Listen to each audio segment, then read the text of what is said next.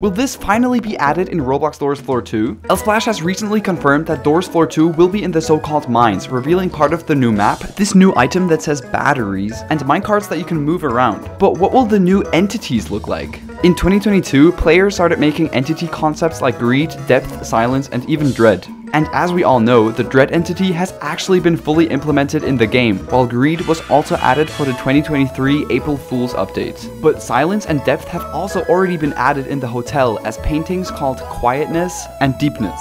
And they're likely to become real entities in Floor 2, since mineshafts are usually deep underground and also silent. So what do you think will get added in Floor 2?